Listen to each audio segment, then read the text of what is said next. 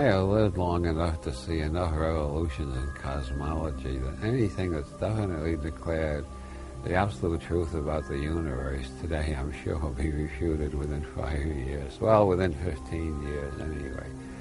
I just don't believe in any cosmology.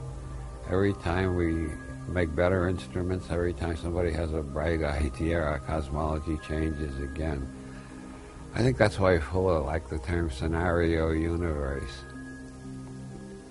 He also like to say universe is non-simultaneously apprehended which is quite obvious. Uh, we're not, we're not, we can't apprehend the whole universe right now, past, present, and future, and all, all space, time. How it takes nine years for signals to get here from Sirius, even. Think how long it would take to get here from the other end of, from the furthest galaxy. So, you know, in terms of general relativity, it's not the same time everywhere, so the universe isn't simultaneously apprehended that means our knowledge at any particular time is knowledge of part of the universe. Tomorrow we'll know more. Maybe not much more. Maybe a lot more. Who knows? I might turn on CNN tomorrow morning and find the greatest scientific discovery of the last five million years has just been announced. Now, who knows? The greatest discovery since the stone axe, I mean. Who knows? And then again, it may take 20 years for them breakthrough of that magnitude. But Scenario universe is non simultaneously apprehended, which is why we need maybe logic.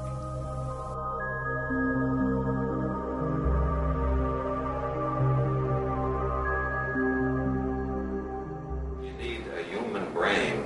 Dogs see grass differently.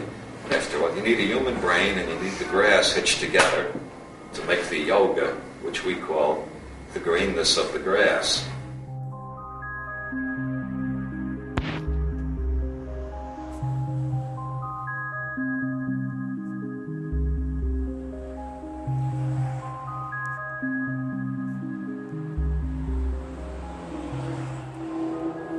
There's some truth somewhere in all this religious crap.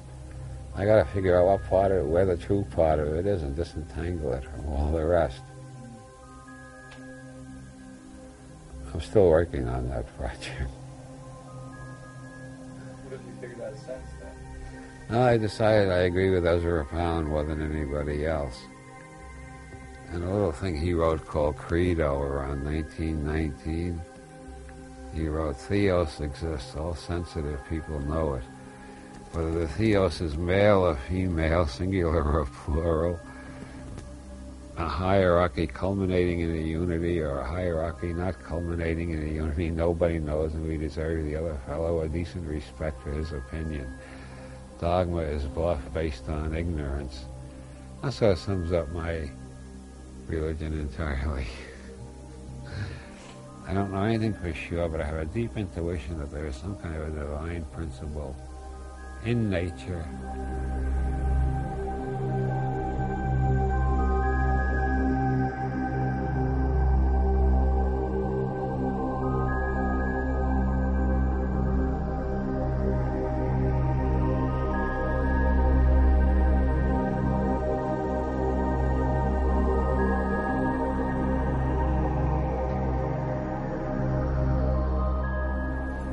Well, to quote Bucky Fuller, I seem to be a very. I can't find any constant roughing in Tom Wilson. It seems to be a process of change all the time.